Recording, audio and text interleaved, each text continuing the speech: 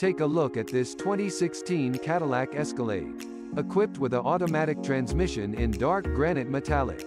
This car comes with some great features including adaptive cruise control, brake assist, adjustable pedals, alloy wheels and more. Come in and check it out today.